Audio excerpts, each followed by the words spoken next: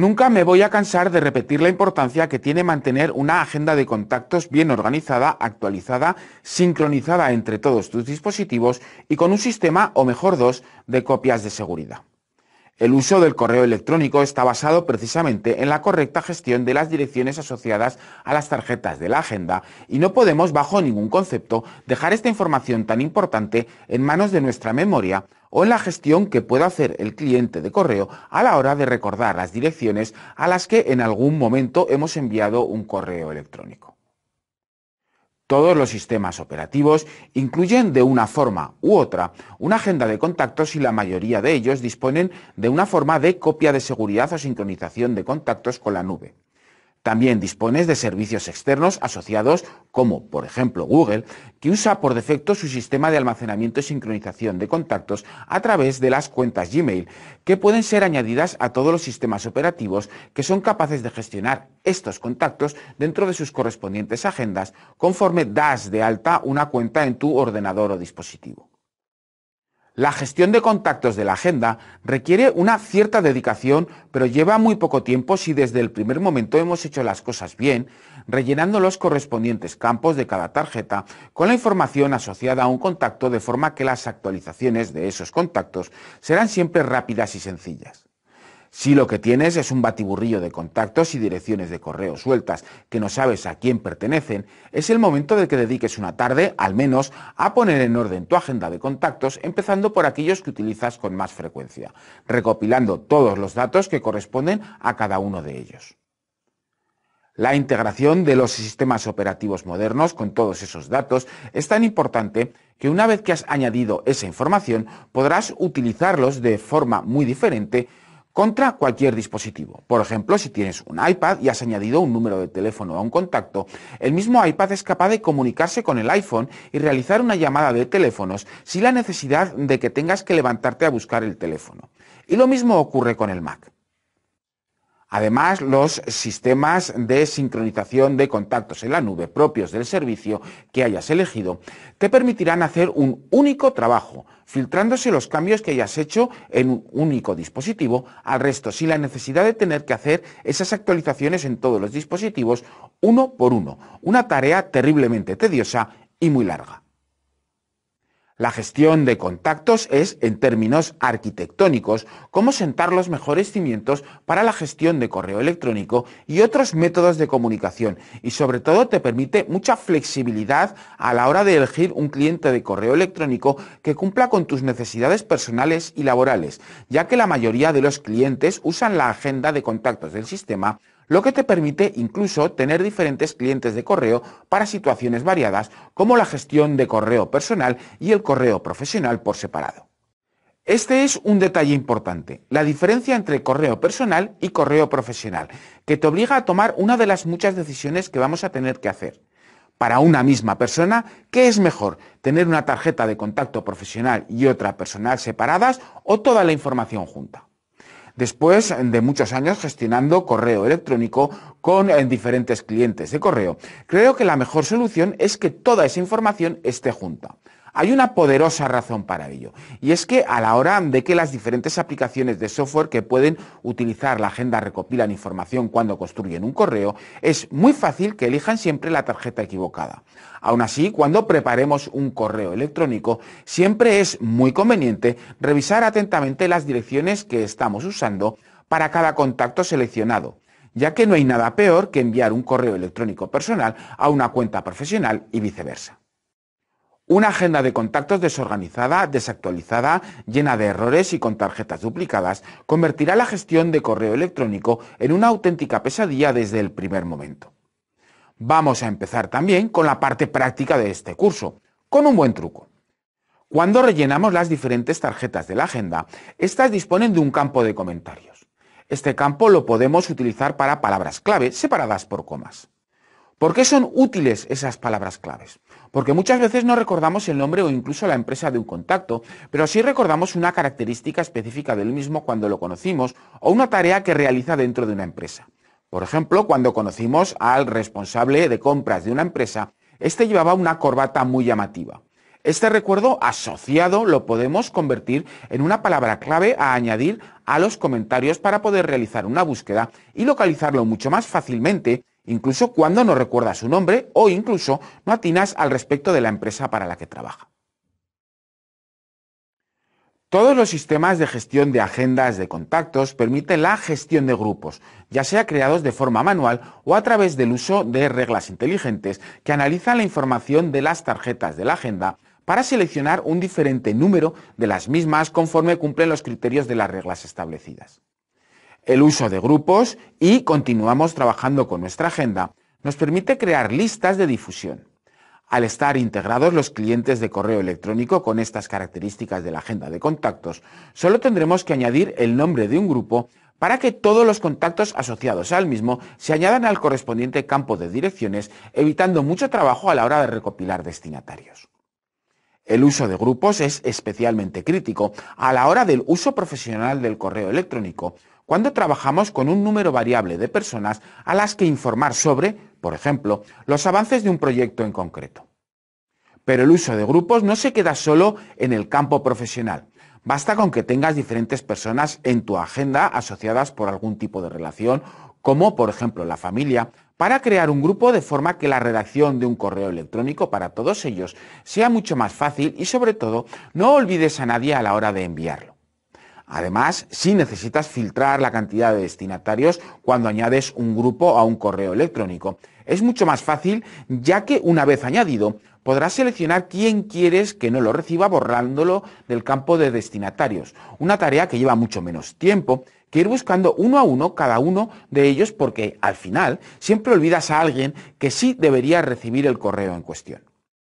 Vamos a organizar una estructura de grupos útil, productiva y sobre todo que no suponga un problema de mantenimiento a la hora de trabajar con el correo electrónico con un buen truco. Y de nuevo usaremos palabras clave en los nombres asociados a los grupos que vayamos creando. Esto nos permitirá localizarlos con facilidad, tanto individualmente por grupo ¿Cómo ver todos los grupos asociados a una misma palabra clave? Estableciendo una política de uso que te será mucho más fácil de recordar que palabras clave aleatorias para cada grupo. Este truco funciona estupendamente con el nombre de la empresa o con la palabra clave familia o en general cualquier palabra clave que añadamos al nombre del grupo entre corchetes y al inicio del mismo para poder localizar rápida y eficientemente ese grupo. Cuando una vez tenemos la agenda organizada, vamos creando un correo electrónico, nos enfrentamos a los campos para añadir los destinatarios.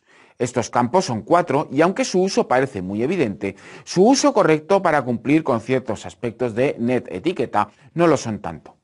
Vamos a ir paso a paso con los cuatro campos, definiendo no solo su uso correcto, sino además su uso profesional e incluso en ocasiones elegante.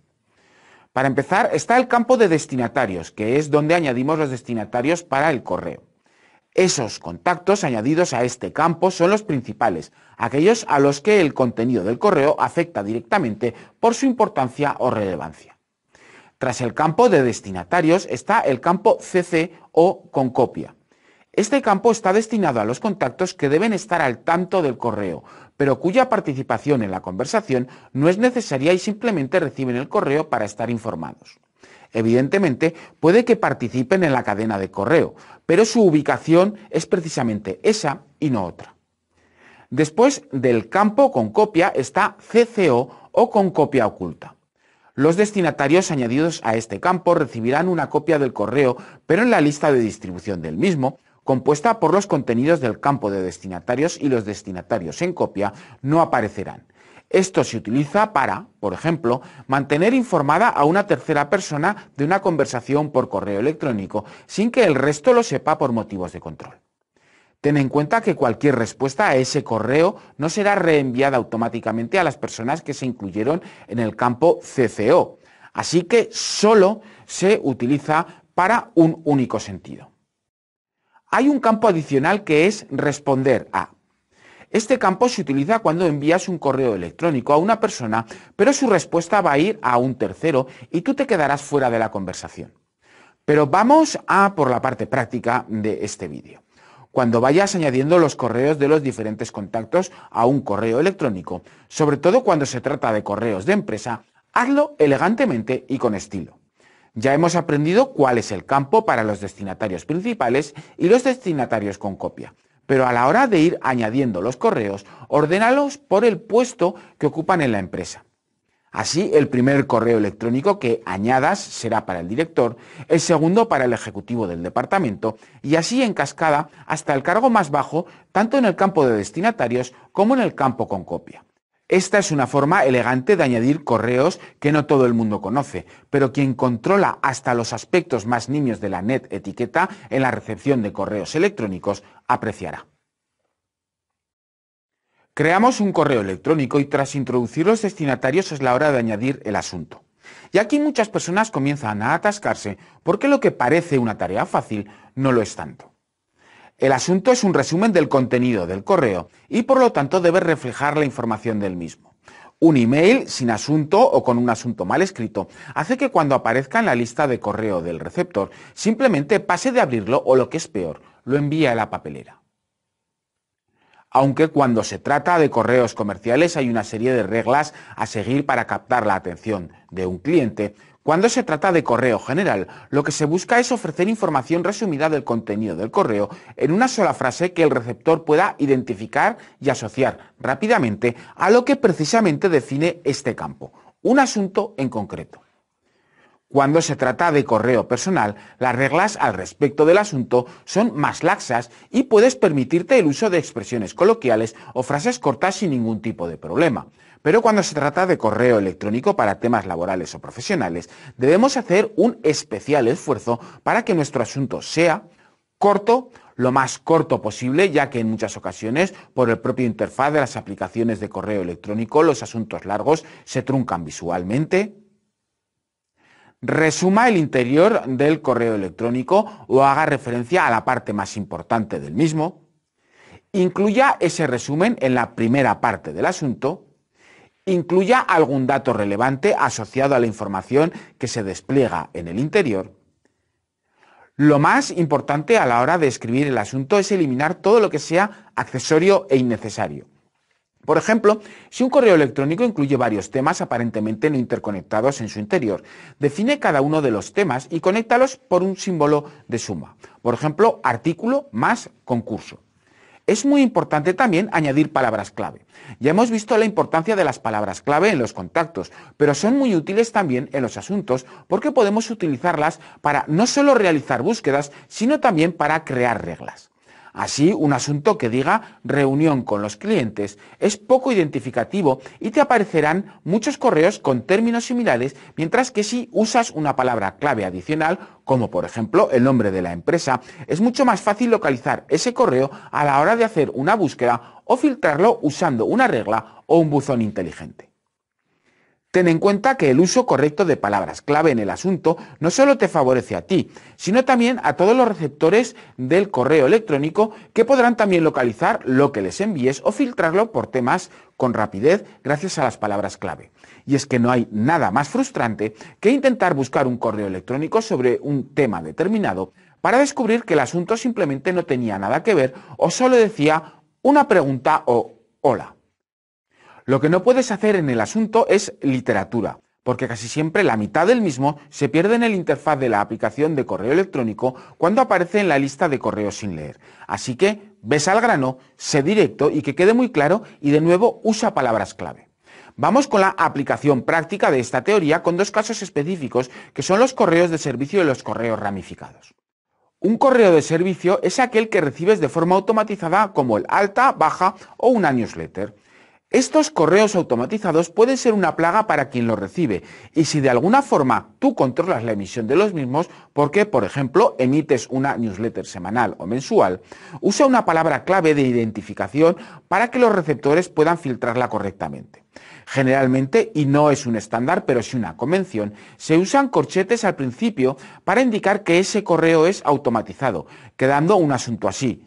Corchete, newsletter, mi periódico, cierra corchete. Noticias relevantes para el 10 del 10 de 2015. Cualquier receptor podrá rápidamente filtrar usando una regla de detección de texto en el asunto ese elemento entre corchetes cuyo significado indica que es un elemento fijo que no variará a lo largo del tiempo y que de nuevo es un correo de servicio. Después están los correos ramificados. Cuando trabajas con un tema importante que tiene muchas ramificaciones, para poder centralizar mejor toda la correspondencia, se usa la misma táctica que para los correos de servicio, pero se usan palabras clave para identificar el tema más importante y luego cada una de las ramificaciones. Por ejemplo, si estás coordinando un evento importante, puedes usar asuntos como estos. Abres corchete, reunión accionistas, más catering, cierras corchete, selección de proveedor o abres corchete, reunión accionistas, más recursos, cierras corchete, alquiler de sala y proyector. Y así un asunto diferente con sus palabras clave para cada ramificación. Recuerda, y es muy importante, que el uso de estas palabras clave en los asuntos no solo te favorece a ti, sino también a las personas que reciben tu correo. Habrá quien no le importe, pero seguramente encontrarás quien te lo agradezca, porque permite una organización estricta cuando se trabaja con altos volúmenes de correo electrónico. Vamos a empezar a trabajar con el contenido del correo electrónico y lo primero que tienes que hacer es saludar.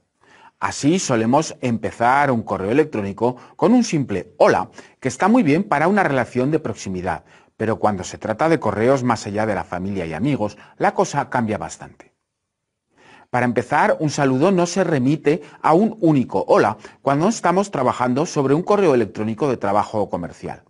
Es algo un poco más elaborado e incluso complejo. Para empezar, un saludo comercial o profesional requiere de una estructura y también depende de si es un primer contacto o un contacto continuado. La estructura de un saludo empieza por citar específicamente al destinatario, dándole el correspondiente tratamiento si fuera necesario. Tienes que tener en cuenta que no todo el mundo está dispuesto a ser saludado sin el tratamiento oportuno y además, una vez te acostumbres a ello, ya no te resultará un problema. El tratamiento coloquial tampoco es el más adecuado en estas circunstancias y de hecho el propio saludo marca el tono del resto del correo, especialmente cuando se trata de primeros correos electrónicos. La fórmula adecuada es estimado Carlos y si fuera necesario añadir el tratamiento de la persona, sobre todo cuando se trata de primeros contactos o de personas que por falta de familiaridad o cargo requieren del tratamiento adecuado en todas las ocasiones y así usaremos estimado don Carlos Burges. Cuando se trata de un segundo o tercer contacto o contactos posteriores, usaremos una fórmula un poco más familiar, manteniendo la misma estructura de saludo, simplemente eliminando el apellido. Después de esa primera línea de saludo, vamos a trabajar con el post-saludo. El post-saludo es un único párrafo que permite crear cierta relación inicial antes de empezar a trabajar con el contenido real del correo electrónico es generalmente un texto convencional para evitar entrar en materia demasiado deprisa, especialmente cuando trabajamos con personas que reciben un primer correo electrónico o con personas con las que no tenemos la suficiente confianza para dejar la comunicación formal aparte y entrar en materia directamente, algo que ocurrirá sin duda alguna más adelante conforme se vaya cimentando la relación con esa persona en concreto. El postsaludo especialmente cuando se trata de primeros contactos, es una composición de un par de líneas en la que buscaremos empatizar con el receptor del correo electrónico. Es, de hecho, una forma de romper el hielo en la comunicación con la persona en cuestión. El postsaludo no tiene por qué ser muy largo y de hecho es una fórmula convencional de net etiqueta. Una o dos líneas a lo sumo es más que suficiente. El gran problema es qué poner en ese par de líneas. El truco para crear un buen post saludo es jugar la baza del agradecimiento, lo que nos permite empatizar con el receptor del correo, indicándole que estamos muy agradecidos porque nos dedique unos minutos de su valioso tiempo para leer el correo electrónico que le enviamos. Mientras que el asunto es el gancho para que el receptor abra el correo electrónico más o menos inmediatamente, el saludo es la tarjeta de visita para poder conseguir que el receptor lea todo el resto del correo electrónico. Una vez tenemos construido el asunto, el saludo y el post-saludo, es la hora de empezar a añadir el contenido del correo electrónico, la parte al final más importante de todo el correo. El gran problema de escribir un correo electrónico es estructurar el contenido para que resulte fácil y sobre todo útil a quien lo recibe. Vamos a ser prácticos a la hora de crear este contenido y sobre todo vamos a estructurarlo bien una buena estructura de ese contenido hará que sea mucho más fácil contestarlo, sobre todo cuando incluya varios temas relacionados o no. Para empezar, añade los diferentes temas al correo electrónico, cada uno en una línea como si fueran titulares. Así tendrás un guion de lo que quieres decir y no mezclarás asuntos, lo que hace más difícil la contestación para quien lo recibe. Al estar bien estructurado el correo electrónico, estamos invitando al receptor a responder aprovechando la misma estructura, de forma que la respuesta será tan fácil de leer como el correo que nosotros hemos enviado.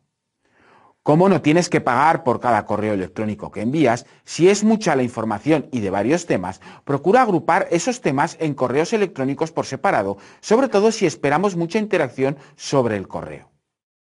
Por ejemplo, si tenemos entre manos una reunión, enviaremos un correo electrónico relativo a la reunión, los asistentes, el catering y los asuntos relacionados con la reunión en un único correo sin separar cada uno de estos temas. Sin embargo, introducir dentro de este correo información sobre otro asunto no directamente relacionado con la reunión, como cambios relativos a los horarios de la empresa, no es procedente y debería ir en un correo aparte. Una vez tengas definidos todos los temas del correo electrónico, es el momento de desarrollar cada uno de ellos y además los vamos a intentar describir utilizando frases cortas y fácilmente comprensibles. No estás escribiendo una novela, estás transmitiendo información y esta ha de ser clara y no dar lugar a confusiones. Una buena estructura para cada tema incluido dentro del correo responde a tres preguntas básicas que te ayudarán a construir el texto. La primera es, ¿qué pasa? O una explicación del meollo de la cuestión. La segunda pregunta es, ¿por qué pasa? que no es más que información relativa a cómo se ha llegado a la situación anteriormente expuesta. La tercera pregunta es, ¿cómo se soluciona? que incluye información sobre las soluciones tomadas para ese asunto.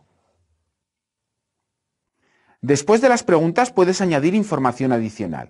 Es muy útil el uso de listas de puntos para definir cualquier información extra que sea requerida tras el núcleo principal del asunto para no forzar al receptor a leer largos párrafos si no es estrictamente necesario. Por ejemplo, si estás escribiendo un correo electrónico para comunicar el cambio de fecha y hora de una reunión, aprovecharemos estas tres preguntas para construir un correo sencillo que no dé lugar a interpretaciones y que incluya toda la información necesaria. Así el ejemplo será. La reunión del día 25 ha cambiado de fecha varios ejecutivos de la compañía X no pueden asistir a la fecha anteriormente prevista debido a que están fuera del país. La reunión del día 25 ha sido cambiada al día 27 a la misma hora. Y ahora vamos a añadir unos bullets o unos puntos con información adicional. ¿Hay límites a la hora de añadir contenido estructurado dentro de un correo? Técnicamente no, siempre que separes cada asunto y no mezcles información. No hay nada peor que estar leyendo un correo y de repente encontrar información de un tema que se ha tratado cuatro párrafos anteriormente. Este método de estructuración de contenidos funciona al 99% de los casos de correo electrónico relacionados con el trabajo incluso con los correos personales. Evidentemente los correos personales requieren un lenguaje más cercano y directo, pero la forma de estructurar el contenido es prácticamente la misma, aunque el correo por asuntos personales tenga más literatura y las listas de puntos se conviertan en párrafos. Si el contenido del correo es muy largo, hazlo fácil de leer no solo por facilitar la compresión del mismo, sino también por su lectura. Además de utilizar palabras simples, si utilizas frases largas, sepáralas con retornos de carro. El objetivo de una buena estructura es ayudar con la comprensión del correo, la asimilación del contenido y la toma de acciones por parte de quien lo recibe de forma que le resulte fácil responder, que es al final lo que estamos buscando. Muchos correos electrónicos incluyen información adicional y una muy frecuente son los enlaces, que nos llevarán fuera del cliente de correo electrónico al navegador para acceder a más información. Aquí vamos a hacer un inciso para hablar sobre el formato de los correos electrónicos. Existen dos tipos de formato. El enriquecido, que permite elegir tipografías, colores, cierto nivel de maquetación y enlaces naturales, es decir, palabras que incluyen un enlace que nos llevará al navegador y el formato plano, que no cuenta con ninguna de las características anteriores y es solo simple texto que no es interpretado. No tiene colores, ni tipografías personalizadas, ni maquetación. Los enlaces dentro de este tipo de correo retienen su estructura natural, es decir, muestran el contenido con su correspondiente http Las opciones para escribir un correo en un formato u otro están disponibles en las preferencias de tu aplicación para correo electrónico o en los correspondientes menús. Consulta con la ayuda de tu cliente de correo electrónico y seguramente encontrarás la información bajo la sección Formato. El problema de los enlaces dentro de un correo electrónico es que con frecuencia son usados en tácticas de decepción al usuario. Son los conocidos ataques phishing, en los que un correo que parece legítimo, por ejemplo de una empresa o un banco, te lleva a una web especialmente mal formada para robar datos como contraseñas. El correo parece real, pero el contenido no lo es. Para evitar este problema y que el correo electrónico que enviamos a diferentes personas sea reconocido como legítimo, yo soy partidario de utilizar la estructura completa del enlace en una única línea separada en correos electrónicos sin formato. De hecho, algunos clientes de correo electrónico son capaces de detectar el correo HTML, es decir, con formato, y aplicarle reglas de valoración que los pueden convertir en supuestos ataques o spam, y por lo tanto el correo será trasladado a un buzón sin supervisión, borrado o no será leído. Así que la mejor opción es utilizar texto plano en la medida de lo posible. Además, el correo electrónico pesará menos y será mejor interpretado en todas las plataformas y sistemas operativos, desde el ordenador a teléfonos móviles o tablets. A la hora de añadir un enlace y usando esta táctica, nos encontraremos con correos con este formato. Tienes más información sobre el asunto que hemos hablado en y separamos el enlace y seguimos con el correo donde indicaremos dónde encontrarás varios artículos relacionados que pueden ser de tu interés. El enlace queda aislado y es rápidamente identificable. Si tienes que añadir varios enlaces, usa líneas consecutivas, una para cada uno de ellos. No te preocupes si al escribir tu correo en texto plano el enlace no aparece como disponible para hacer clic. El cliente de correo electrónico que reciba tu correo sabrá interpretar ese contenido y convertirlo en enlazable, de forma que el receptor no tendrá que copiar y pegar el enlace en el navegador. Otro de los problemas del correo electrónico es la gestión de adjuntos. Un adjunto, por definirlo rápidamente, es un archivo o conjunto de archivos que se añaden al correo electrónico y que recibirá el destinatario. El problema de los adjuntos es saber dónde hay que parar y dónde la necesidad de enviar un archivo se convierte en un exceso que causa problemas a quien recibe el correo. Y, por añadidura, para complicar aún más la cosa, los adjuntos son utilizados frecuentemente como vector de ataque para infectar el ordenador de un usuario. Adicionalmente, los proveedores de correo electrónico limitan la cantidad del tamaño que tendrán los adjuntos, siendo esta cantidad aproximadamente y dependiendo del proveedor de alrededor de unos 20 megas. Más allá de esa cifra, lo más posible es que el correo sea rechazado tras enviarlo. Otro problema es que utilizamos el correo electrónico como si fuera un disco duro enviamos archivos junto con un texto y pensamos que ya tenemos ubicados esos archivos asociados a ese texto guardados dentro del cliente de correo. Esto al final acaba engordando los buzones de correo electrónico por encima de las posibilidades de nuestros dispositivos y es fácil encontrarse con ordenadores o dispositivos móviles con más de 15 y 30 gigabytes de espacio ocupado por correo de hace varios años con adjuntos que ocupan un espacio innecesario y que además son inútiles. Así que vamos a definir una buena política de adjuntos para añadir al correo electrónico, una que no solo parezca muy profesional, sino que sea muy efectiva. La primera regla es que el envío de adjuntos tiene que ser relevante, es decir, el archivo tiene que ser necesario para la persona que lo recibe y enviar solo ese archivo o archivos que necesita y nada más. Así lo lógico es enviar una factura y no todo el historial de facturas del mes por si acaso. La segunda regla que hay que aprender es que todo adjunto o conjunto de adjuntos que ocupen más de 3 megas ya no es un adjunto, es un ladrillo. La mayoría de las veces los receptores van a ver ese correo electrónico en su dispositivo móvil y si tienen que descargar un adjunto o grupo de adjuntos de más de 3 megas van a estar penalizando su tarifa de datos. La tercera regla es usar un servicio de almacenamiento de archivos en la nube para todos los adjuntos que ocupen más de 3 megas y especialmente para los adjuntos muy, muy pesados. Hay gente que sin ningún recato te envía 15 megas en adjuntos e incluso mucho más. ¿Cómo se usa uno de estos servicios? Puedes tener una cuenta en Dropbox, Google Drive, Omega y subir allí el archivo en cuestión para luego obtener un enlace que añadirás al correo. Así el receptor lo podrá descargar cuando lo necesite, no cargarás tu cliente de correo de archivos innecesarios que se almacenan en el buzón de archivos enviados. Y posteriormente podrás hacer limpia de esos archivos que has enviado y que generalmente ya no son necesarios. Por ejemplo, si haces tu facturación con un programa y generas unos cuantos PDF para enviarlos a tu gestor, esos PDF, una vez ya los has recibido, ya son innecesarios porque la información está en el programa de facturación usando un servicio de archivos en la nube con una carpeta que se llame, por ejemplo, adjuntos enviados, permite fácilmente purgar esos archivos. En el caso de los dispositivos de Apple, ya viene integrada una característica llamada MailDrop, que sube el adjunto de hasta 5 GB a iCloud para a continuación enviar un enlace de descarga al destinatario del correo que tiene 30 días para descargarlo. En general, hazte siempre esta pregunta. ¿Es relevante para el receptor el archivo que tengo que enviar? Si dudas, casi seguramente será que no lo es, pero siempre puedes indicar que dispones de ese archivo y que si lo solicita, puedes enviarlo más tarde. Dentro de la categoría de correos electrónicos automatizados están los correos relativos al calendario, asociados generalmente a un archivo .icns, que recibirás junto con el correo.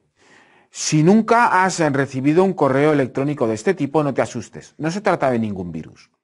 Cuando utilizas las aplicaciones de calendario que están gestionadas en la nube y alguien organiza un evento, al añadirte dentro de ese evento como parte del mismo, el sistema de calendarios trata de comunicarte que has sido seleccionado con un correo electrónico para que añades ese evento a tu calendario y enviará una confirmación al organizador indicándole que piensas asistir al mismo.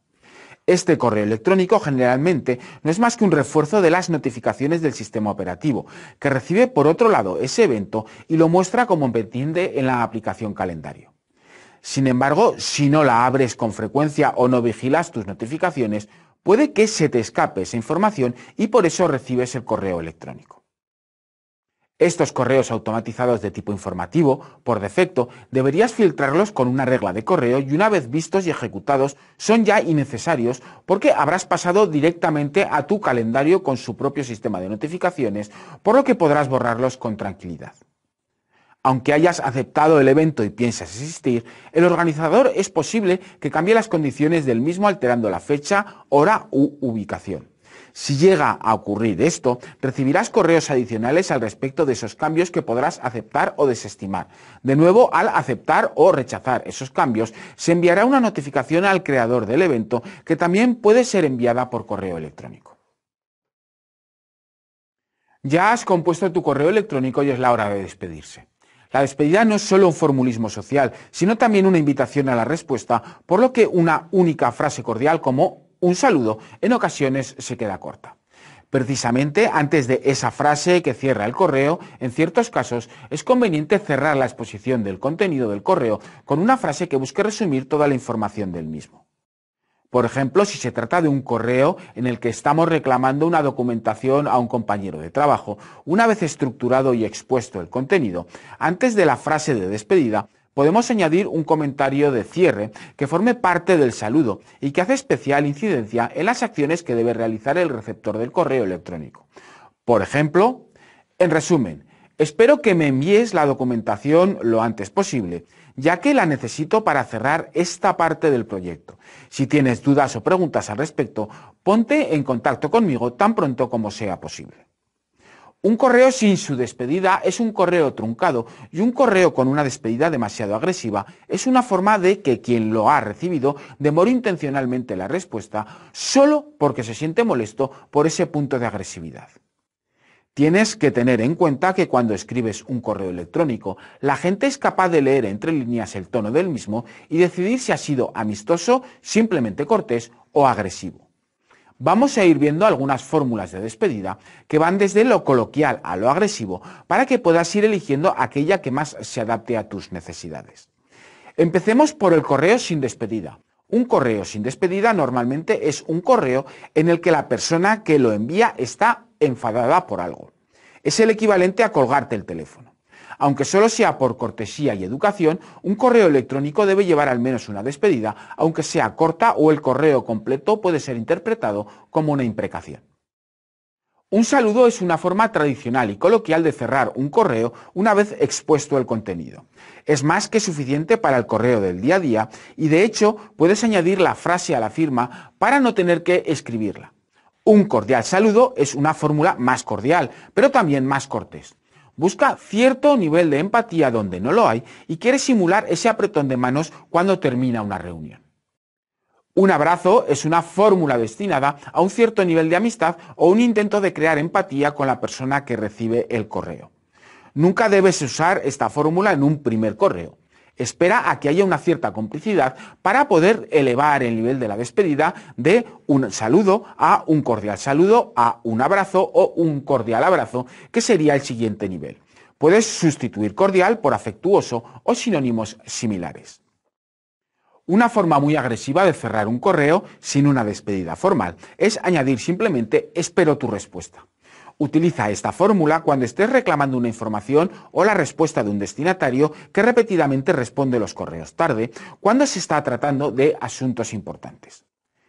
Ten en cuenta que de la misma forma que tú utilizas estas fórmulas de despedida, los demás las utilizarán contigo, por lo que te darán pistas del estado anímico de la persona hacia ti cuando ha escrito ese correo electrónico, porque esta es una comunicación de dos direcciones.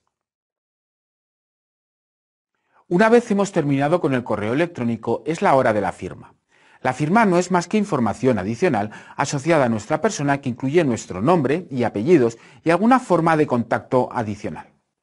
No hay una única firma para todos los casos, de la misma manera que no hay una única forma de saludar o despedirse. Así que vas a necesitar como poco dos firmas, una para correo personal y otra para correo formal y adicionalmente una firma asociada para tu trabajo.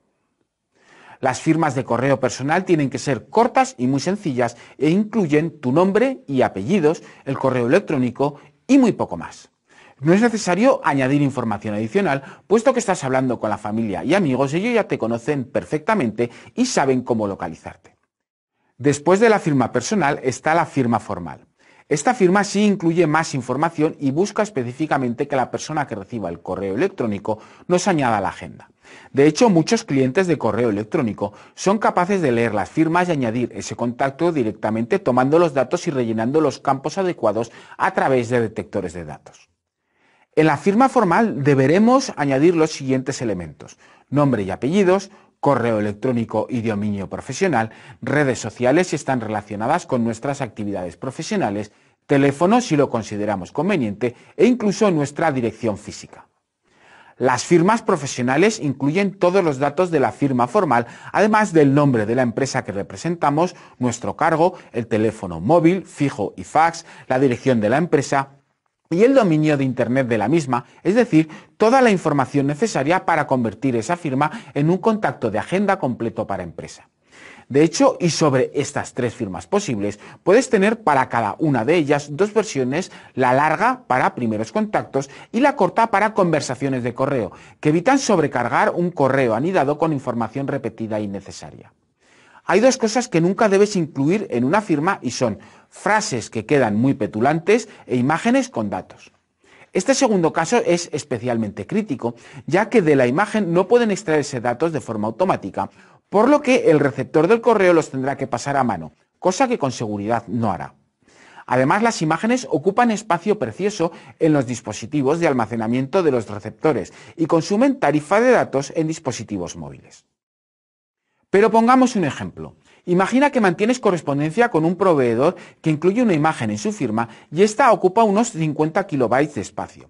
A lo largo del año ha recibido de ese proveedor unos 300 correos electrónicos, así que la multiplicación es de 300 por 50 kilobytes, con un resultado de unos 15 megas de espacio desperdiciado en el disco que además no puedes eliminar porque solo puedes hacerlo eliminando el correo en cuestión. Ya sé que puede parecer muy poco, pero cuando son varias personas las que usan imágenes en las firmas, todos ellos acaban sumando con el tiempo una buena cantidad de espacio totalmente desperdiciado. Así que no uses imágenes en las firmas porque además de ser inútiles, suelen enfurecer bastante a los usuarios avanzados de correo electrónico. Una buena firma es una invitación a conectar, a que puedan recuperar información desde el campo de búsquedas del cliente de correo electrónico para localizarte o contactarte. Una mala firma, de la misma manera, puede ser considerada como una forma poco elegante de demostrar que quien escribe está por encima de quien recibe el correo y se incluye imágenes, una forma rápida de que nuestro correo acabe en la papelera. Recibes un correo electrónico y es la hora de responderlo. Bien, vamos allá. Una respuesta es parte de una conversación y como tal se suele ceñir a los aspectos que ya hemos visto en cuanto a saludo, estructura de contenido y despedida, incluyendo la invitación a responder para seguir la conversación. Para empezar, cuando respondemos un correo electrónico, el correo que recibimos queda citado dentro del mismo y se añade un tipo de indentación cuyo nombre no podría ser otro que cita y suele estar identificado con líneas, símbolos, además de un color diferente. A mayor cantidad de respuestas, mayor nivel de cita. La respuesta al correo debe quedar encima de esta cita o forzaremos desplazarse hacia el final del correo al receptor, lo que es un fastidio y queda muy poco elegante. Imagina ahora que ya os habéis respondido cuatro o cinco veces y cada vez cuesta más desplazarse al final del correo. Resulta muy frustrante y muy incómodo, así que la respuesta de nuevo debe quedar siempre encima del texto citado. Algunos clientes de correo electrónico permiten seleccionar una parte del correo que hemos recibido y al darle al botón de responder, en la parte de la cita solo se mostrará esa parte del correo electrónico seleccionado. Esta técnica se utiliza para dar por sentado o por finalizado el resto del correo y separar esa parte en concreto para una respuesta específica. Así resulta mucho más fácil encauzar la conversación hacia ese único punto que es considerado crítico dentro de la comunicación. El proceso es muy sencillo. Selecciona el texto, pulsa responder y responde al mismo. Hay una táctica aún mejor para el correo, la respuesta por partes. Si el correo es especialmente largo e incluye varios temas, en lugar de ir respondiendo todos los puntos en la parte superior del correo electrónico, indica al inicio del mismo que vas a responder por partes sobre el texto citado e incluye el saludo en esa parte del correo. Ahora desplázate hacia el texto citado del correo electrónico, sitúa el cursor al final de uno de los temas del mismo, introduce un retorno de carro y añade tu respuesta. Esto permite tratar los temas por separado en una conversación para cada uno de ellos, en lugar de tener que ir consultando el hilo de correo arriba y abajo para recordar qué se dijo y la razón de las respuestas dadas. Vete repitiendo esta respuesta para cada uno de los temas expuestos en el correo electrónico y al final, cuando hayas añadido la información a la última parte, despídete. Esta es con mucho una de las formas más efectivas para responder correos electrónicos, especialmente los más densos y contienen mucha información, de forma que cada uno de los temas queda aislado del resto, lo cual es muy útil por razones que veremos más adelante. Después de la parte práctica de responder un correo electrónico está la etiqueta. Cada sistema de comunicación electrónica tiene sus propias normas, muchas de ellas heredadas de la vida real.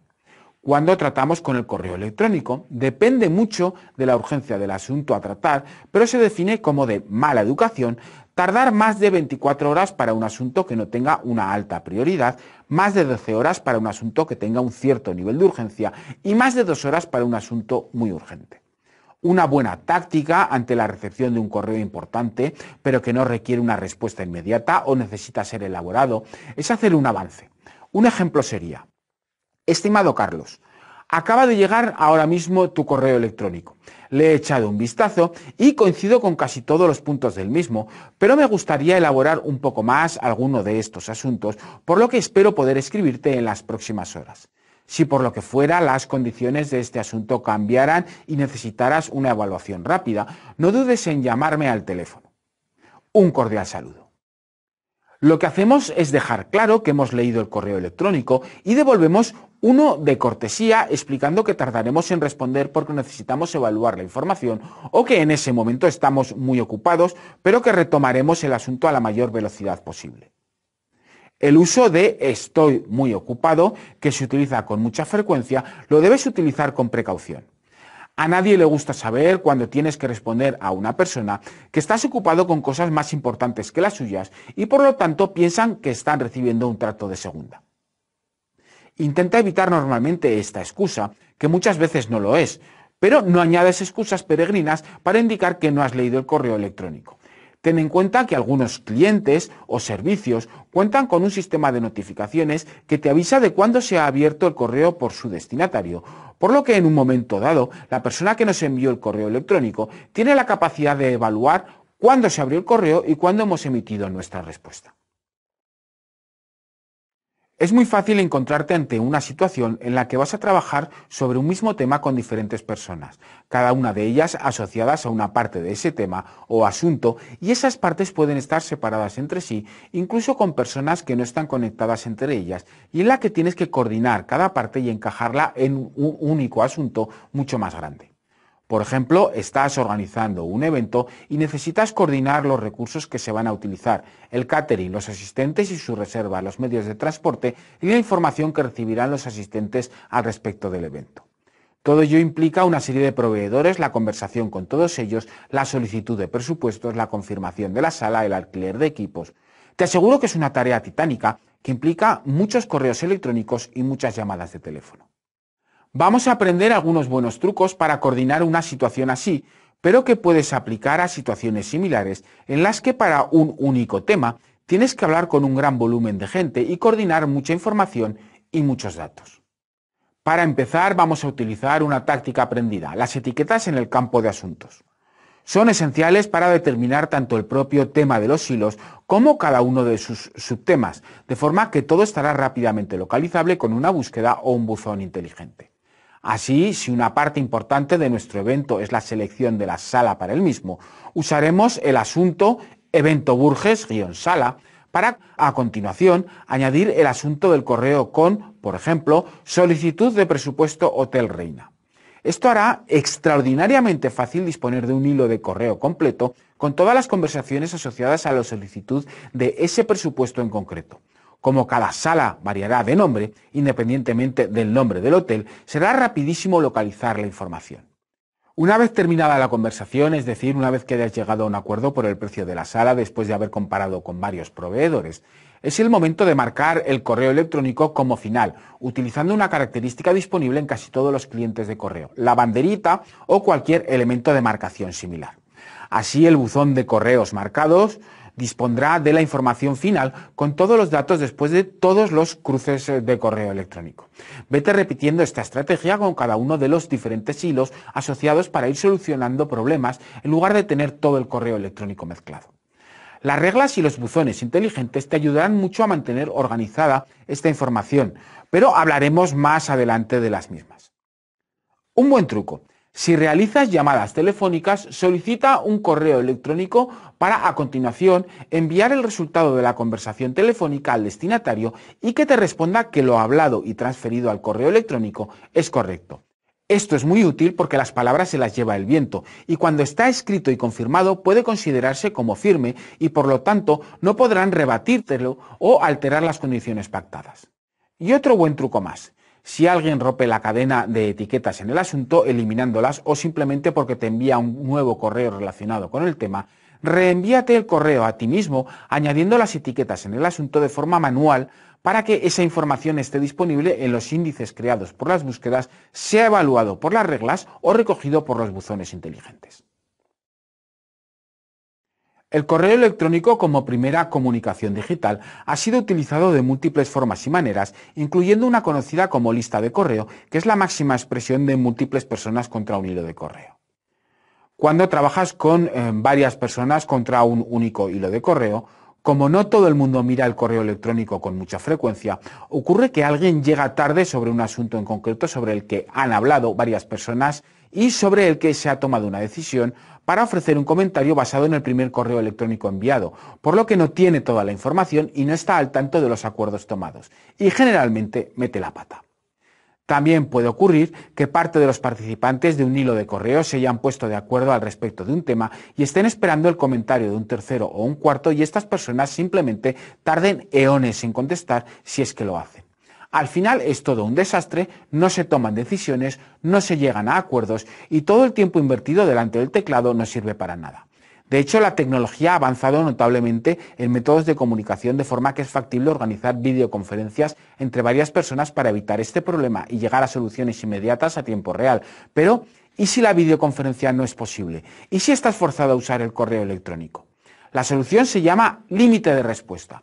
El límite de respuesta es el tiempo que tendrán todas las personas que participan en el hilo para ofrecer una respuesta al último correo electrónico y si sobrepasan ese límite, se da por entendido que aceptarán la solución que decida el resto y que no están especialmente interesados en el asunto. El texto para un límite de respuesta podría ser el siguiente y evidentemente lo puedes adaptar a tus necesidades específicas. Para tomar una determinación acerca de este asunto, el límite de respuesta a este correo electrónico es de 24 horas. Las respuestas fuera de las 13 horas de mañana, una hora adicional de cortesía, serán obviadas. El límite de respuesta es una solución real ante un problema de compleja solución. La desidia de los participantes al respecto del hilo cuando no queda otro remedio que usar el correo electrónico para solucionar un problema específico.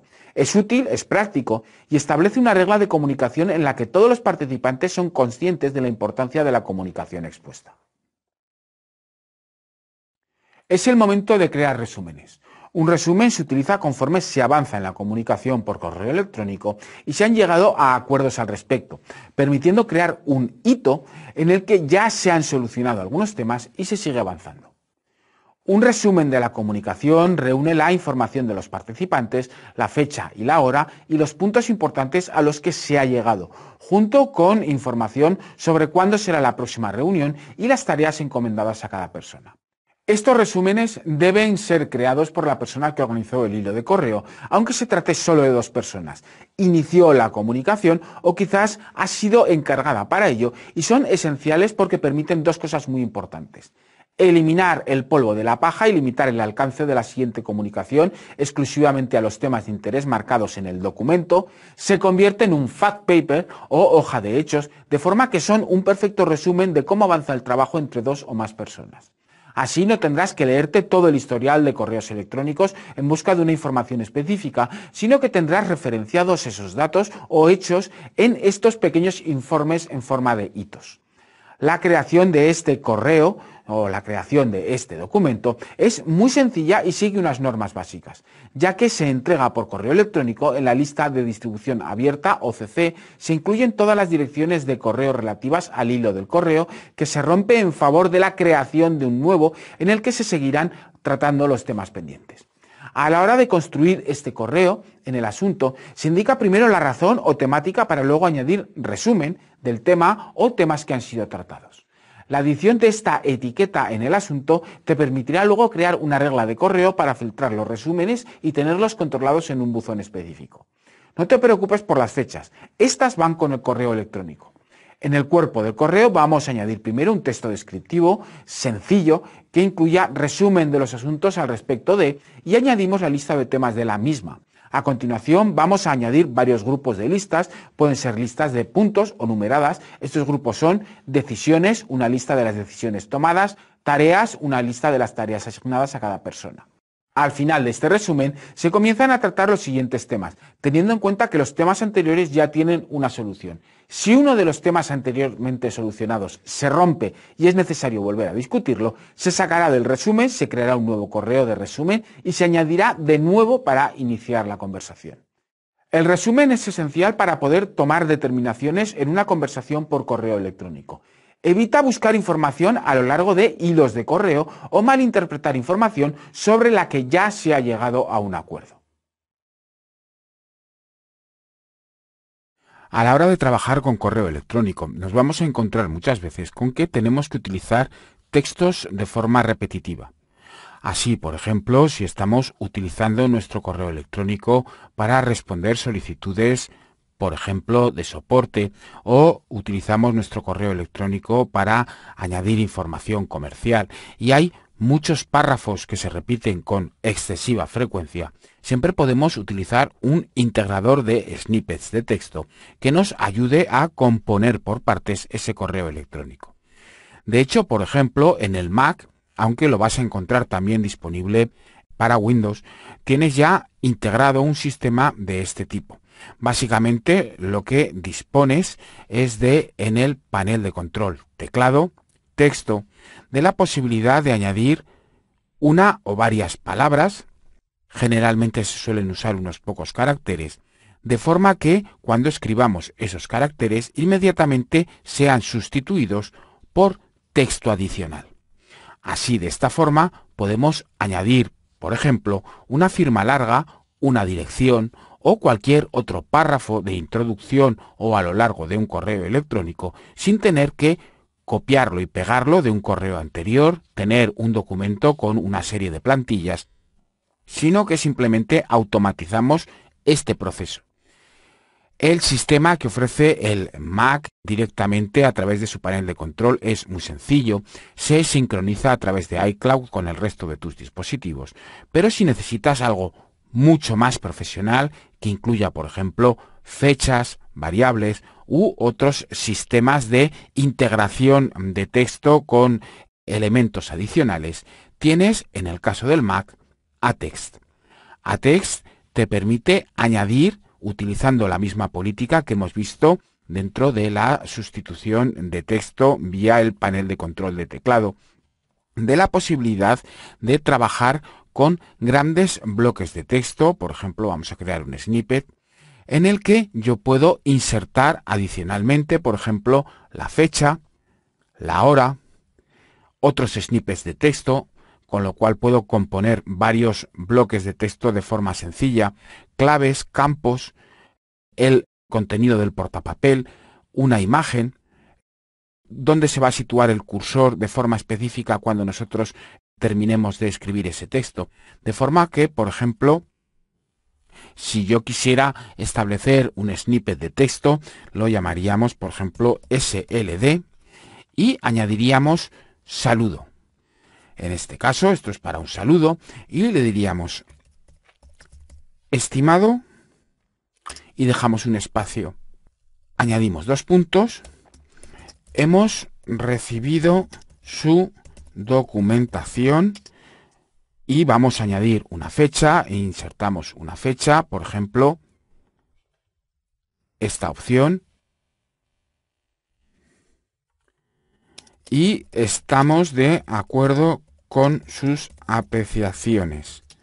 Pero añadimos dos puntos y cuando nosotros vayamos a construir este correo vamos a añadir una característica más que es el cursor. Vamos a insertar el cursor aquí. Diremos insertar el cursor aquí, perfecto. Ahora, cuando escribamos un correo electrónico, lo que ocurrirá es que utilizaremos SLD y automáticamente empezaremos a trabajar con ese correo electrónico, incluyendo, por ejemplo, esa variable. Así, por ejemplo, vamos a abrir un documento de TextEdit y usaríamos SLD y vemos cómo se ha añadido el snippet, lo que ocurriría igual que en un correo, y nuestro cursor se ha situado en esa posición específica que nosotros le hemos marcado para añadir el nombre y ahora a continuación puedo seguir escribiendo el correo electrónico, pero ya tengo una gran parte. Si añado una serie de párrafos comunes, una serie de párrafos repetitivos que ocurren con mucha frecuencia, voy a tener la posibilidad de construir correos electrónicos basados en plantillas variables sin la necesidad de tener que estar modificando esas plantillas. Simplemente añadiendo estos snippets de texto con este tipo de aplicaciones voy a ir muy deprisa y mi comunicación va a ser mucho más efectiva. Las reglas son una característica con la que todos los clientes de correo electrónico deberían contar. De hecho, muchos servicios de correo como Outlook, iCloud o Gmail cuentan con este tipo de características antes incluso de que el correo se descargue directamente en tu dispositivo. De hecho, los filtros contra el spam no son más que reglas muy especializadas que tratan de descubrir si un correo es basura y entonces lo marcan como spam y lo trasladan a un buzón específico. Una regla es una acción que busca una serie de patrones determinados en el correo electrónico que recibes y si los encuentra, realiza una serie de acciones con ese correo.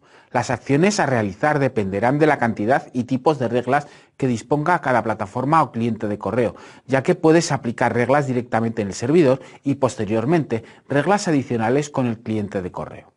¿Cuándo aplicar reglas? En el momento en el que tienes que realizar una acción repetitiva con un correo electrónico que entra más de una decena de veces, es el momento de añadir una regla que haga automáticamente esa acción repetitiva por ti. Entre las diferentes características disponibles a la hora de definir una regla está la posibilidad de trasladar un correo a un buzón específico. Así, con reglas es posible ordenar el correo electrónico repartiéndolo entre múltiples buzones. El equivalente es tener un armario lleno de muchísimos cajones en el que vamos depositando elementos, en este caso los correos electrónicos, para que luego rápidamente puedas acceder al correo que busques entre todos esos cajones. ¿Son las reglas una buena solución para organizar el correo? Sinceramente creo que no, pero voy a explicar por qué. Más allá de las reglas de correo que puedes encontrar en el servidor, el hecho es que la disponibilidad de reglas en los diferentes clientes de correo electrónico varía mucho. No todos los clientes de correo disponen de ellas e incluso los filtros asociados a esas reglas pueden variar y justo aquel filtro específico que puede que esté en una plataforma, en otra no lo estará. Hoy en día no trabajamos exclusivamente con un ordenador y no estamos atados a un único sistema operativo y sus aplicaciones como ocurría hace 10 años. Utilizamos dispositivos móviles y además cambiamos con mucha frecuencia de plataforma. Y si hoy tienes un Mac, un teléfono Android y un iPad, es posible que dentro de dos años tengas un PC con Windows, un iPhone y un tablet de Microsoft. Esto nos obliga a estar cambiando con frecuencia de cliente de correo y como el soporte para reglas o incluso la ausencia de ellas cambia entre plataformas, esa organización determinista del correo electrónico puede sufrir un importante revés. Por ejemplo, Mail en el iPhone o en el iPad, que es el cliente de correo electrónico por defecto, no dispone de reglas, por lo que una vez te has bajado el correo en tu iPhone o tu iPad y has leído ese correo, cuando llegas al ordenador, al que sea, al ser correo leído o le aplicas las reglas de forma manual o simplemente no se aplicarán porque las reglas solo funcionan cuando se descarga el correo del servidor antes de Si ya se ha leído, gracias a la sincronización del protocolo IMAP, ese correo es considerado por el resto de clientes de correo sincronizado como agua pasada y por lo tanto generalmente no se le aplican reglas y el correo queda sin organizar. Al final, esa cuidada estructura de carpetas y buzones se acaba resintiendo con el tiempo y comienza a dejar de ser útil porque correos que deberían estar en una ubicación no están y nos veremos obligados a hacer búsquedas y solo con suerte es posible que aparezcan, porque pueden haber sido borrados al no haber sido organizados automáticamente por las reglas. A la hora de trabajar con reglas, piensa en ellas como un mayordomo que hace tareas repetitivas con ellas, acciones diferentes que pueden implicar marcar el correo, borrarlo, reenviarlo o responder automáticamente, modificarlo o eliminarlo incluso, pero no es el encargado específico de ordenar el correo. Para ordenar el correo vamos a utilizar otra característica frecuente en muchos clientes de correo electrónico que se parece mucho a las reglas, pero que no funciona exactamente igual, los buzones inteligentes. La mejor forma de organizar el correo electrónico son los buzones inteligentes. Prácticamente todos los clientes de correo los utilizan y no modifican la estructura de tu correo electrónico como las reglas, que usan ubicaciones específicas para guardar el correo que pueden ser accesibles o no en todas las plataformas. Un buzón inteligente es exactamente igual que un buzón tradicional al que se le aplican reglas, pero mientras que con el método anterior estás trabajando con órdenes específicas y carpetas reales, el buzón inteligente lo que hace es utilizar la base de datos de correo para crear buzones virtuales, analizando el correo a tiempo real según unos criterios específicos que nosotros le daremos y que generalmente coinciden con los criterios de las reglas. Pero no hacen ninguna acción, simplemente siguen los criterios y muestran la información basada en los mismos. ¿Cuál es la diferencia frente a la organización por reglas? Pues que desaparecen los cajones y aunque puedes utilizar el método tradicional de reglas y añadir una capa de buzones inteligentes encima, la realidad nos dice que con los cambios de plataforma y tipos de cliente de correo que podemos hacer, es mucho más útil para organizar el correo electrónico que esté todo junto y luego poder filtrar sobre la marcha. Además, usando un buzón inteligente, un mismo correo puede estar en dos o más buzones a la vez según los criterios que hayamos añadido, mientras que con una organización basada en reglas deterministas, con acciones, un correo estará solo y únicamente en un buzón, y nada más. La ventaja de los buzones inteligentes es que en cualquier momento puedes modificar el criterio de búsqueda para que se adapte rápidamente a lo que necesitas. Pero voy a poner un ejemplo, los buzones inteligentes y ayer. Hoy y ayer son dos buzones inteligentes que puedes crear en tu cliente de correo que recogen el correo electrónico que has recibido, evidentemente, hoy y ayer, independientemente de si está leído o no. Su razón de ser es, precisamente, localizar rápidamente el correo sin tener que hacer búsquedas, especialmente cuando has recibido un correo que has leído y tienes interés en responder, pero no lo has marcado como no leído, una estrategia habitual para dejar correos electrónicos pendientes. Así que en lugar de tener que realizar una búsqueda, lo cual a veces resulta complicado porque no atinas con el nombre de quien te lo envía o las palabras clave que estás utilizando devuelven muchísimos resultados y te obliga a intentar localizar el correo con filtrados por fecha, los buzones hoy y ayer solucionan de un plumazo el problema. Si tu problema de localización de correo se extiende a más tiempo, siempre puedes crear buzones inteligentes que filtran correo por una fecha mayor, por ejemplo, una semana. Por otro lado están las etiquetas. Las etiquetas no disponibles en todos los clientes de correo electrónico permiten marcar un correo con un código generalmente de color o incluso asociarle una o varias palabras clave. Esto puede hacerse incluso a través de reglas. Ahora sí, un uso correcto de las mismas, para que a un correo electrónico que cumpla una serie de criterios se le asigne una etiqueta específica. ¿Cómo se usan las etiquetas para organización de correo? Generalmente tenemos tendencia a organizar el correo electrónico de forma vertical, asociando un buzón inteligente a un remitente específico o varios de ellos agrupados en una empresa o a un campo de asunto específico para un hilo de correo de interés. Las etiquetas nos permiten organizar el correo transversalmente, es decir, cogiendo correos de aquí y allá cuyo remitente no tienen una relación entre ellos. Por ejemplo, el caso que hemos visto del buzón hoy y ayer sin utilizar etiquetas es un perfecto ejemplo de transversalidad, ya que utiliza el factor tiempo para reunir correos de las más variadas procedencias. Al añadir etiquetas a la ecuación, podemos filtrar transversalmente fuera de criterios verticales ciertos tipos de correo. Por ejemplo, recibes facturas de varias personas de forma habitual a lo largo del mes. Esas personas son siempre las mismas, de forma que puedes crear una regla que asigne una etiqueta llamada a los remitentes facturación contabilidad y otros correos similares y que incluyan un adjunto que es el archivo de la factura. Ahora creas un buzón inteligente que lea esas etiquetas asignadas por la regla al entrar el correo y que muestre todos los correos recibidos en el último mes que cumpla con el criterio de la etiqueta facturación asignada y que tenga un adjunto de forma que tendrás todos esos correos con facturas en un único buzón para al final de mes poder facturar rápidamente y no olvidarte de contabilizar una factura. Ya hemos visto cómo funcionan las reglas y los buzones inteligentes, pero ¿Cuál es la mejor estructura de las mismas? ¿Cómo aplicar esa estructura para que la gestión de correo electrónico sea realmente efectiva? El truco no es pensar cómo guardar el correo electrónico, sino cómo lo lees. Si bien puedes mantener una organización específica para ciertos criterios verticales, como un remitente específico, un dominio del que recibes correos de diferentes personas asociadas a ese dominio, como ocurre con los correos electrónicos del trabajo u otros criterios verticales o transversales, a la hora de trabajar con el correo lo haces contra lo que entra. Así, si usas una organización basada en los anteriores criterios, en la lista de buzones o buzones inteligentes te aparecerán sin leer dos correos en uno, tres correos en otro, cuatro correos en otro. Al final se hace complicado leer el correo así, es incómodo, poco productivo y se pierde mucho tiempo. De nuevo retomamos el concepto inicial para la organización a la hora de trabajar el correo. ¿Cómo lo lees? El correo electrónico es binario. Si es un 1, lo has leído y si es un 0, es que no. Lo que ocurra después con un correo leído, como su guardado en un buzón o su incorporación a un buzón inteligente y las acciones que ya has hecho con él, básicamente es otro cantar porque es correo que puedes querer consultar o simplemente almacenar. Así que para empezar necesitas crear un buzón inteligente que filtre el correo basado en su estado de lectura. Así tendrás ubicado todo el correo sin leer en un único buzón principal con el que puedes trabajar puedes filtrar este correo electrónico sin leer, eliminando aquellos correos que están en el spam, aquellos que han sido traspasados a la papelera o, por ejemplo, newsletter o correos automáticos de servicios que son simplemente informativos para poder centrarte en correo electrónico real de personas reales.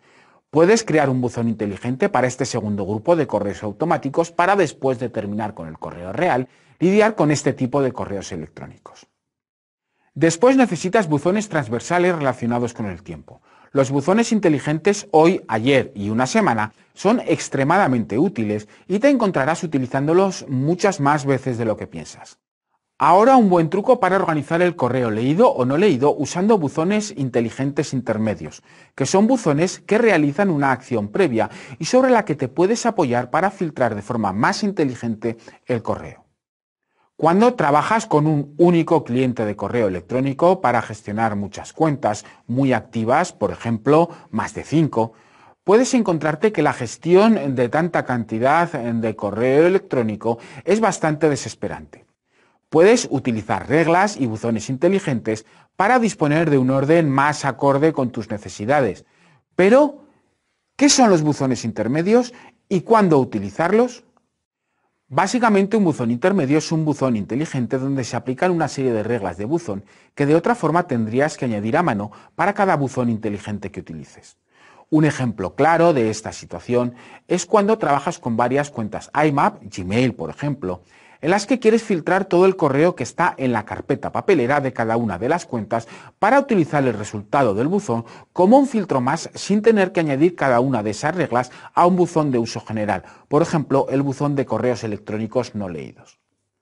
Así, en lugar de tener que añadir el buzón papelera de cada cuenta al buzón inteligente, creas un buzón inteligente que reúna todos esos buzones y luego los criterios de filtrado del buzón de correo no leído lo usas como criterio único de filtrado. Y además, para cualquier otro filtro, a la hora de crear buzones inteligentes, puedes añadir ese buzón intermedio de filtrado en lugar de tener que volver a añadir uno tras otro criterios específicos para ignorar ciertos tipos de correo o ciertos tipos de buzones. Otro ejemplo son los correos automáticos de servicios del que hemos hablado hace un momento. Si creas un buzón inteligente para filtrarlos todos, cuando crees un buzón inteligente para una empresa de la que recibes correos automáticos y correos de personas, solo tienes que añadir el criterio de filtrado de newsletters y correos de servicio para que en el buzón solo te aparezcan los correos de personas, restando los correos de servicio y newsletters. Como los buzones inteligentes son dinámicos y funcionan a tiempo real contra el índice de correos, independientemente de la situación de correo, el filtrado será siempre 100% efectivo, dejando solo la información que necesitas y eliminando la innecesaria sin la necesidad de tener que crear complicadas reglas de filtrado una por una. Además, estos buzones intermedios de filtrado tienen una característica adicional, te permiten modificarlos para que rápidamente afecten al resto de buzones inteligentes. Así, si por ejemplo te das de alta en una nueva newsletter, no tienes que modificar todos los filtros para eliminar esa newsletter de cada uno de los buzones dedicados a correos de personas, sino que simplemente modificas ese buzón intermedio y en cascada afectará al resto en una tarea que solo te llevará unos segundos y no un buen rato. Los buzones VIP son un extra disponible en algunos clientes de correo electrónico que permiten filtrar el correo de una única persona y asignarles automáticamente un buzón VIP, que no es más que un buzón inteligente enmascarado al que adicionalmente se ha unido un criterio dentro de reglas o buzones inteligentes que identifica a los usuarios VIP que has creado. Si tu cliente de correo electrónico no dispone de esta característica, no te preocupes, la puedes recrear fácilmente utilizando buzones inteligentes, asociando un correo electrónico de una persona o incluso varios como su correo personal y laboral a un único buzón inteligente. Así tendrás todo el correo de esa persona, incluyendo las diferentes cuentas que utilice, en una única ubicación. Si has decidido utilizar la táctica de crear buzones inteligentes para remitentes VIP, Recuerda que luego puedes crear un buzón intermedio con todos ellos para poder usarlo como filtro adicional, de la misma forma que hemos utilizado otros buzones intermedios para crear reglas y buzones inteligentes. Frecuentemente un correo electrónico está asociado a una serie de tareas a realizar. Así convertimos correos sin leer en tareas pendientes y los dejamos en la bandeja de entrada como recordatorios de que hay algo que hay que hacer con él hasta que deja de importar, los eliminamos por desidia o posponemos indefinidamente esa tarea. Hay dos errores fundamentales en esta estrategia, uno productivo y el otro técnico. El primero es una cuestión de falta de organización de trabajo acompañado de una buena ración de desidia, que hace muy difícil que un correo electrónico marcado como sin leer pase de esa fase de recordatorio a una acción determinada ya que somos incapaces de encontrar el momento ni las ganas de realizar esa tarea. La segunda es más bien un problema técnico, ya que somos incapaces de encontrar una forma técnica de convertir ese correo electrónico en una tarea a realizar porque no se integra bien en una aplicación de lista de tareas. Existe un problema adicional. Si por casualidad el correo vuelve a abrirse por cualquier circunstancia, pasará a ser marcado como leído e inmediatamente desaparecerá del buzón de correo sin leer y si no recordamos específicamente de qué trataba, acabaremos perdiéndolo entre el resto del correo. Los usuarios de Mail en Apple lo tienen mucho más fácil porque si abren la aplicación Recordatorios pueden arrastrar ese correo electrónico directamente sobre la ventana de la aplicación para que se cree una tarea de título el asunto del correo y un enlace al propio correo electrónico. Ahora solo es necesario asignar una fecha y una hora para la resolución de esa tarea. Con otros clientes de correo electrónico es factible asignar una etiqueta o una marca de color para todos aquellos eh, correos que están atados a cosas que tienes que hacer para ser asignados a continuación a un buzón inteligente. Otras aplicaciones como Todoist tienen extensiones de navegador o plugin especializados para convertir tus correos en tareas a realizar con fecha y hora integradas en su sistema de gestión de tiempo. El problema de nuevo es que un correo electrónico que no se ve es un correo electrónico que no se siente y las tareas se quedarán sin hacer.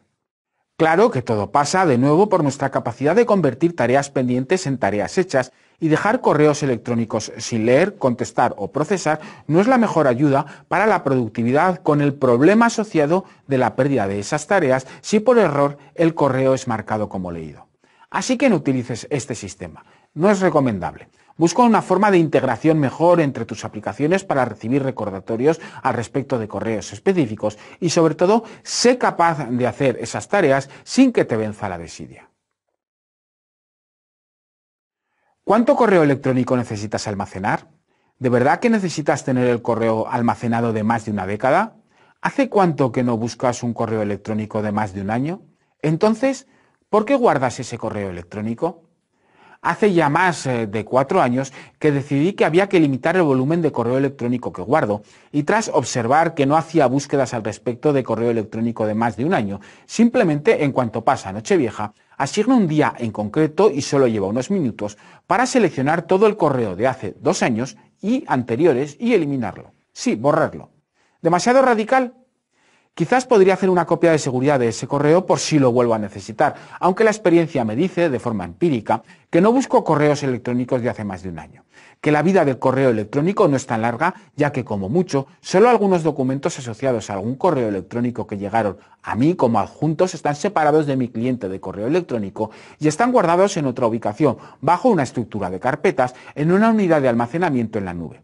El resto de información se ha convertido en irrelevante y tras un año o dos simplemente va a la basura. ¿Qué beneficios obtengo con esto? Mi cliente de correo electrónico va mucho más rápido en las búsquedas, ya que la cantidad de correo electrónico almacenada es ilimitada. Además, se abre más rápido, se cierra más rápido y todos los buzones inteligentes se comportan mejor a no tener que mostrar índices eternos de correos electrónicos de hace una década.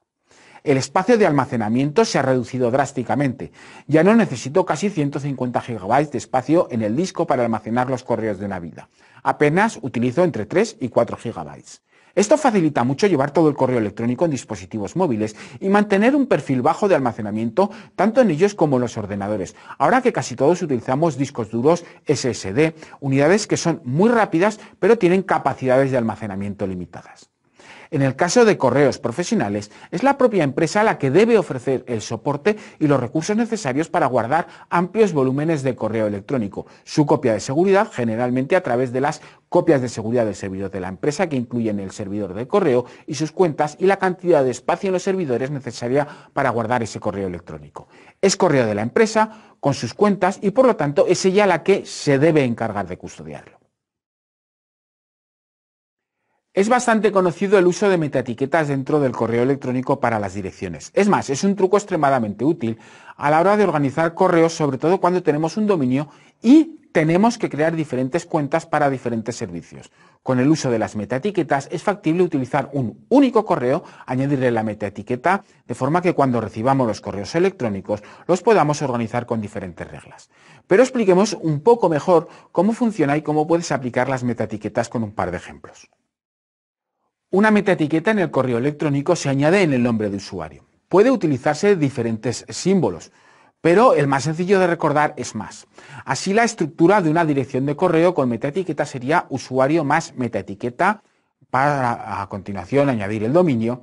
Y de hecho puedes añadir varias metaetiquetas utilizando varias veces el símbolo más. Por ejemplo, usuario más metaetiqueta 1 más metaetiqueta 2 más metaetiqueta 3 y luego el dominio.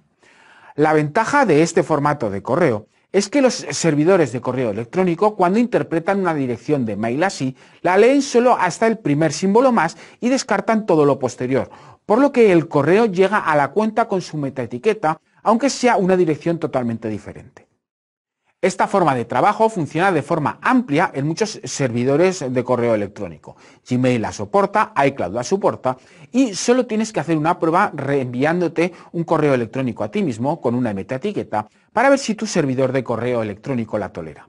El correo que recibirás será directamente a tu cuenta de correo, pero el remitente portará la metaetiqueta con la que puedes crear una regla de correo y organizar eficientemente el correo que recibes. Realmente el uso de metaetiquetas mueve el correo electrónico desde su orientación a la cuenta a la orientación al servicio, de forma que identificando con metaetiqueta diferentes servicios podemos organizar nuestro correo electrónico disminuyendo el número de cuentas a utilizar. Pero pongamos un par de ejemplos.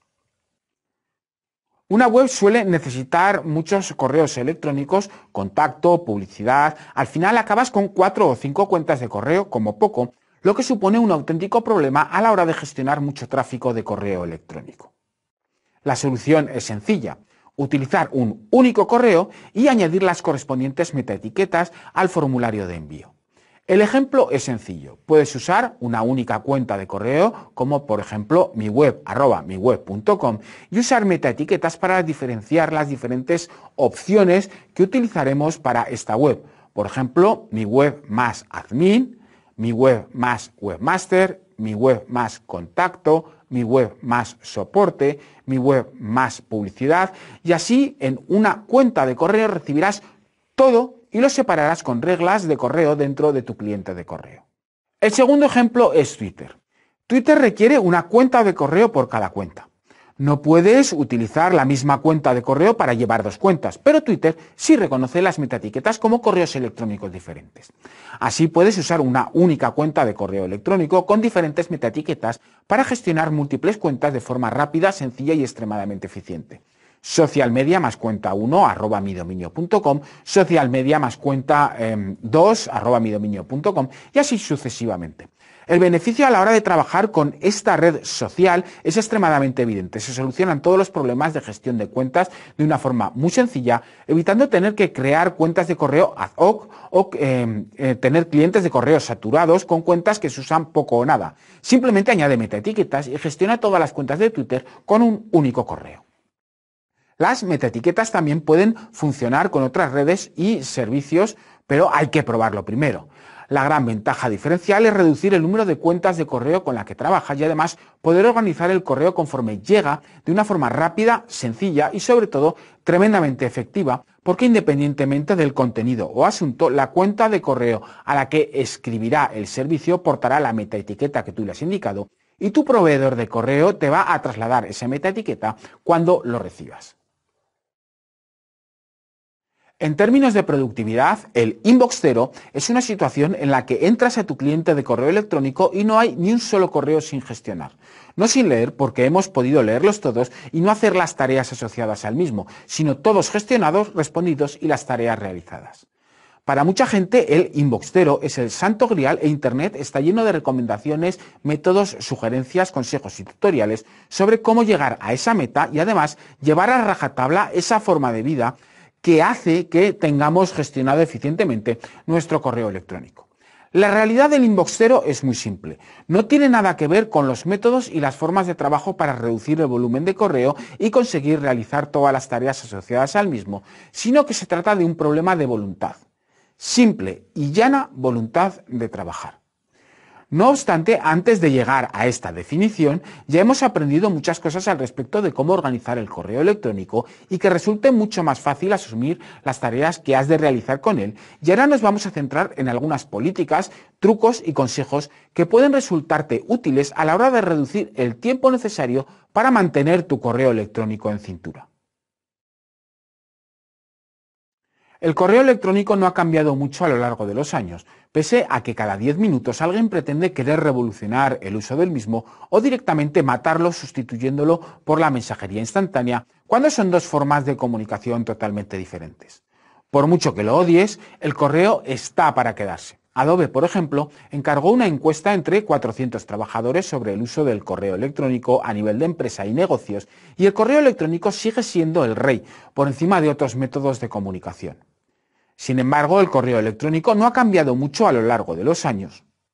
De hecho, en toda la vida útil y práctica del correo, solo ha habido dos eh, novedades diferenciales que han afectado al usuario como para modificar el comportamiento de su uso el protocolo IMAP y las reglas de correo en el servidor o el cliente de correo para organizar el mismo. Otras características como el acuse de recibo o el acuse de lectura, aunque muy interesantes y bienvenidas, no están disponibles en todos los clientes y servicios. Todo lo demás han sido vanos intentos de organizar el correo electrónico sin la intervención del usuario con poco o nulo efecto. Para huir hacia adelante, se han mezclado diferentes aplicaciones con el correo electrónico, intentándole dar valor al cliente en sí, como la gestión de calendarios y citas e incluso lectores de RSS e integración con adjuntos en la nube. El problema de la gestión del correo electrónico es, al final, el propio usuario y sus políticas de uso. Así se han establecido muchos métodos para la gestión efectiva del correo electrónico con el objetivo de llegar al famoso inbox cero, que es el santo grial de los gurús de la productividad. Pero al final son decisiones que el usuario debe tomar, tiempo que debe invertir, trabajo que tiene que hacer, porque el propio cliente puede ayudar, pero no responder el correo por nosotros. Esa es la cuestión, mantener una política de buzón cero que no siempre es tan fácil como parece. Pero hay gente que hace cosas interesantes al respecto. Por ejemplo, Spark, el cliente de correo de Riddle para el iPhone, para el iPad y el Mac, ofrece una solución de tres puntos para responder correo. Respuestas preprogramadas con un me gusta, sonrisa y gracias, además de otras interacciones expresadas en forma de emoticonos que permiten eliminar las respuestas finales de una cadena de correo que se está eternizando. Este tipo de interacciones facilita notablemente la gestión de mucho del correo electrónico que recibimos, ya que hay un alto porcentaje del mismo que está compuesto de respuestas cortas para expresar nuestro acuerdo o desacuerdo con una pregunta. Pero este tipo de extras son mínimos comparativamente con la gran tarea que hay que realizar para remodelar lo que significa la gestión de correo electrónico de una forma más eficaz. No es una cuestión de interfaz o de usabilidad como muchas aplicaciones prometen.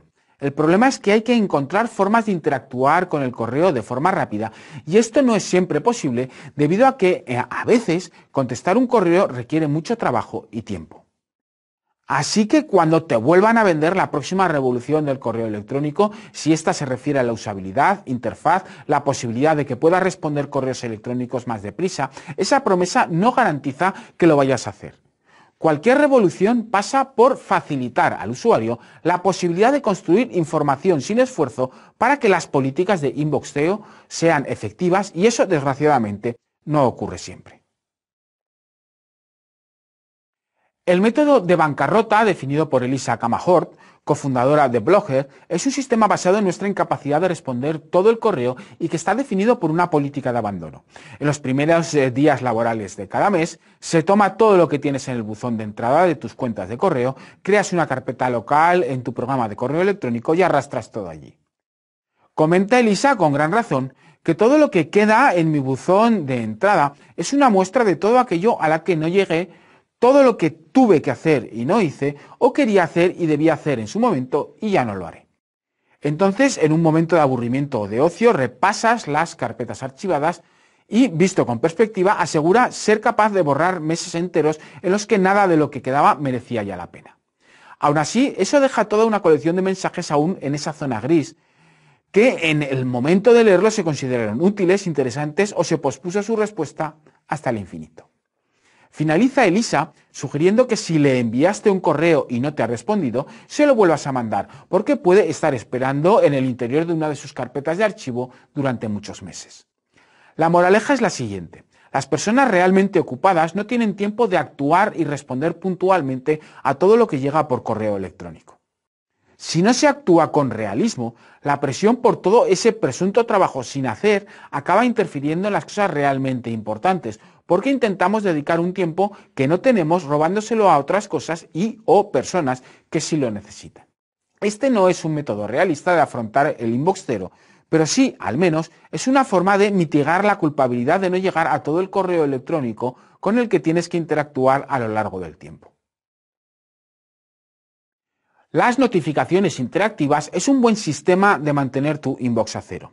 Prácticamente en todas las plataformas los clientes de correo electrónico son capaces de enviarte notificaciones de correo nuevo, pero existen posibilidades interesantes de trabajar con esas notificaciones para tomar decisiones rápidas sobre qué hacer con el correo nada más entrar en tu buzón.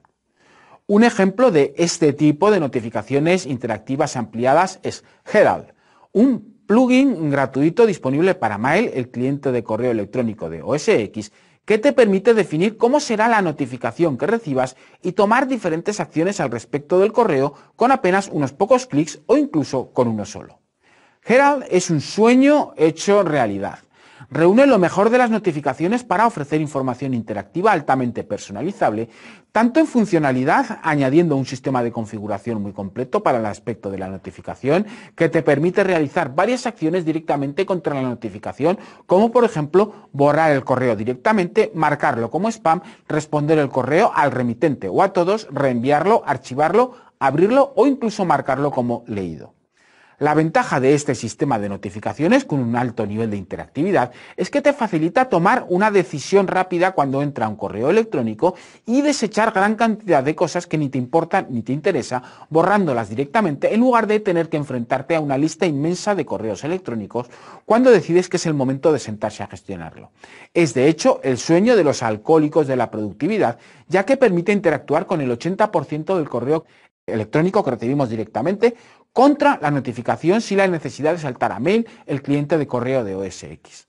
Yo uso Herald en mi día a día y simplemente he reducido el tiempo que le dedico a gestionar y responder el correo electrónico a más de un 50%, dándome espacio para hacer cosas mucho más interesantes.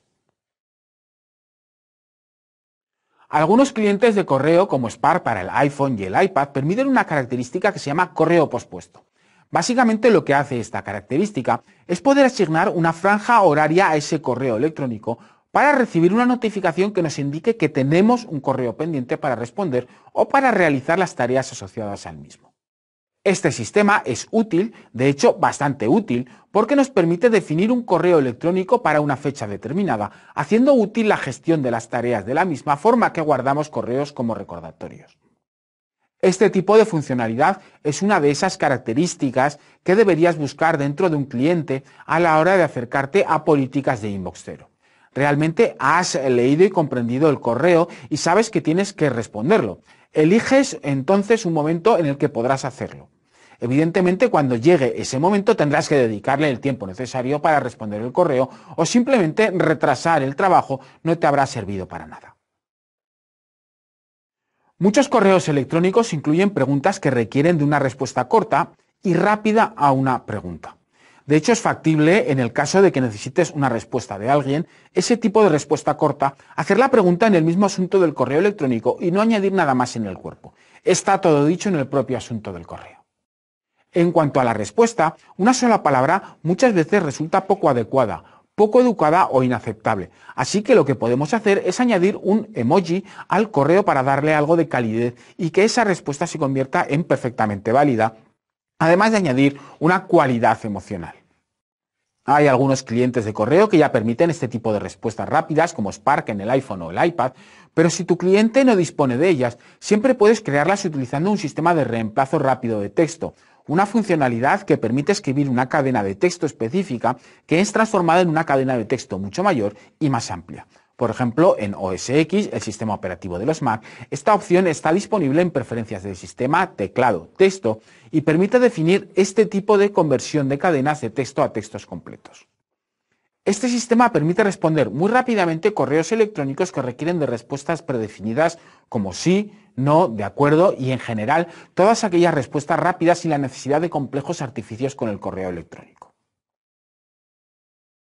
Hay diferentes aproximaciones a la política de buzón cero, y una de ellas es la organización previa del mismo cuando lo consultas por la mañana para luego, con más tranquilidad, poder contestar cada uno de los correos pendientes. Aunque puede parecer una forma de ocultar la responsabilidad de contestar el correo electrónico, es un hecho que un buzón de entrada desorganizado, con correos marcados una vez y otra como no leídos para ser contestados, acaba siendo un problema porque al final en cualquier momento acaban siendo marcados como leídos y pasan al olvido. Pero, ¿cómo organizar el correo de forma eficiente? Hay diferentes aproximaciones a este problema y una de ellas pasa por usar los indicadores o etiquetas para marcar correos. En muchos clientes de correo electrónico existe la posibilidad de asignar una banderita a un correo de forma que queda marcado. Por ejemplo, Mail en OS X nos ofrece la posibilidad de asignar hasta siete marcadores diferentes, cada uno con un color. Estos marcadores vienen identificados por los nombres de los colores de las banderas. Vamos a aprovechar estos marcadores para poder categorizar el correo del día a día para después de esa categorización pasar a trabajar con el correo o dejarlo para después con la seguridad de que un correo no se va a perder por desmarcarlo como no leído. Para empezar, categoriza los indicadores haciendo clic en el nombre. Si no te aparecen estos indicadores en la barra lateral, coge varios correos y márcalos cada uno con un color diferente. Así te aparecerán en la barra lateral todos los indicadores. Ahora haz clic en el nombre del indicador en la barra lateral para cambiarle el nombre. Una buena forma, pero no la única, de organizar el correo categorizándolo es hoy, para los correos que se responderán hoy. Pendiente, para los correos que responderemos en un plazo de tiempo indeterminado. Pendiente de respuesta para correos que hemos respondido y esperamos una respuesta a ser posible inmediata. Activa en este correo la organización por conversaciones, de forma que te resultará mucho más fácil seguir el intercambio de correos. Después está gestiones, tareas que has de realizar sin un plazo fijo y archivo, correos que tienen cierta importancia pero no requieren una respuesta o una acción de algún tipo. Casi todos los servicios de correo como Gmail, iCloud, etc., cuentan con un archivo de correo en el que se almacenan estos correos. Si te fijas, no hay una categoría urgente, porque los correos urgentes se responden en el acto. Puedes asignar atajos de teclado para enviar directamente a esos buzones el correo electrónico, pero luego, indefectiblemente, tendrás que trabajar con él y responderlo. Vas a enviar un correo muy importante o al menos de cierta relevancia a una persona con la que mantienes contacto con frecuencia vía correo electrónico y necesitas que lo lea, lo asimile y te envíe una respuesta lo antes posible. Un muy buen truco es hacer un live push, es decir, contactar con esa persona vía Twitter, WhatsApp u otro servicio de mensajería instantánea del que sepas que está pendiente para indicarle que tienes un correo y me corre prisa la respuesta. El destinatario no podrá obviar el mensaje y la respuesta es casi siempre que lo va a mirar para a continuación responderte.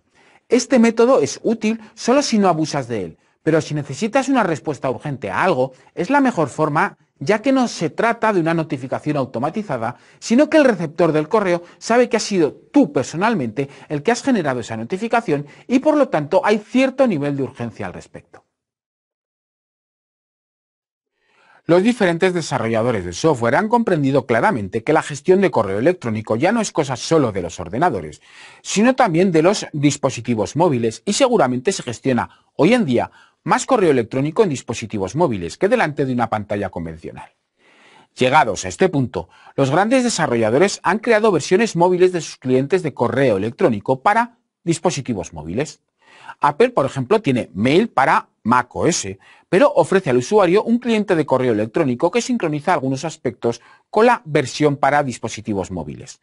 El caso de Microsoft es similar, disponen de su cliente Outlook para ordenadores que también está presente en algunas plataformas móviles, incluyendo también sincronización de características. Desarrolladores independientes han entendido la necesidad de desplegar plataformas de cliente de correo electrónico, como es el caso de Riddle y Spark, que empezó siendo un cliente de correo para el móvil, en concreto para el iPhone, luego saltó al iPad, al Mac y posteriormente a Android. Spark, entonces, sincroniza información no solo del contenido, que no es más que un estándar del propio servidor de correo, sino de las cuentas y ajustes, de forma que cuando tienes un nuevo dispositivo o tienes que volver a reconfigurar uno tras un reinicio, simplemente introduces unos muy pocos datos específicos y esa información de cuentas y ajustes se sincronizan con el nuevo dispositivo, permitiéndote así empezar a trabajar con el correo electrónico desde el primer minuto. Contra este tipo de plataformas están los clientes de correo electrónico independientes. Estos están creados por pequeñas empresas de desarrolladores o incluso por desarrolladores también independientes y buscan diferenciarse de las plataformas de correo, añadiendo características muy específicas a los clientes, como por ejemplo la posibilidad de poder enviar correo demorado, respuestas predefinidas, integración de servicios de traducción para correos en diferentes idiomas y más. Estos clientes de correo son extremadamente útiles, pero sus características son tan únicas y especiales que solo sirven a un número limitado de usuarios. Pero es muy conveniente estudiar este mercado de clientes de correo electrónico, porque siempre puedes encontrar uno que se adapte a todas tus necesidades a la hora de la gestión, lo que te hará ser más productivo. Mientras que para los sistemas operativos de ordenador se han creado a lo largo de los años muy competentes clientes de correo electrónico con innumerables características que permiten gestionar muchas cuentas de forma muy eficiente. En el ámbito móvil, los clientes de correo electrónico todavía necesitan muchos años para madurar, aunque lo están haciendo muy deprisa.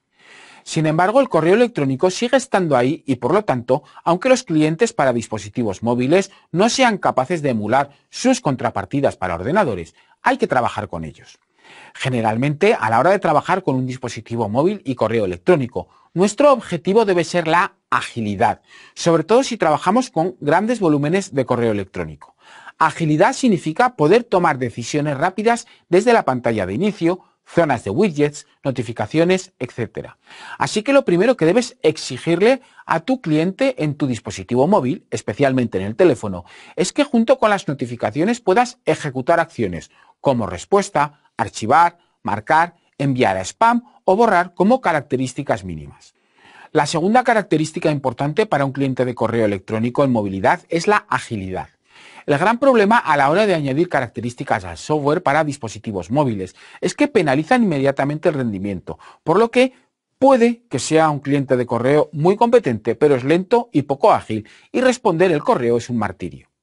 La tercera categoría importante es la inteligencia. Sí, clientes de correo electrónico con inteligencia, capaces de crear y mostrarte el correo preorganizado alrededor de una serie de categorías que te faciliten poder concentrarte en los correos más importantes y dejar cosas para más adelante como las newsletters o notificaciones de servicios. Por último, es muy importante la gestión de adjuntos, tanto en la facilidad de integrarlos desde el dispositivo o directamente desde servicios de archivos en la nube, como la posibilidad de guardarlos rápidamente en cualquier ubicación. Lo importante con el correo electrónico en dispositivos móviles es ser selectivo. En la mayoría de las ocasiones, si estamos consultando el correo en nuestro dispositivo móvil, estamos en una situación en la que, salvo por una urgencia, no podemos dedicar toda nuestra atención o no toda la que nos gustaría o necesitaríamos porque, de nuevo, la agilidad es muy importante y ser selectivo aún más, respondiendo solo aquello que es imprescindible para posteriormente dedicarle toda nuestra atención cuando dispongamos de tiempo suficiente.